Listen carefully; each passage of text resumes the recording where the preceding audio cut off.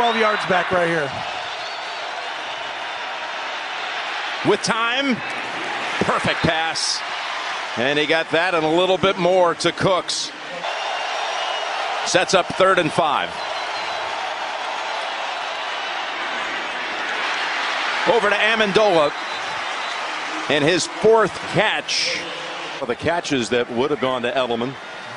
First and 10. They finally pressure. Down the field they go, and look at White out of the backfield. Brady takes something off that pass and lofts it right over the defender.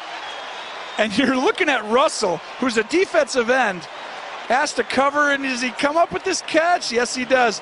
He's asked to cover all the way down because they blitzed on that play. And they haven't done much blitzing at all in this football game. And when they do, Brady makes them pay. Amendola at the top in motion.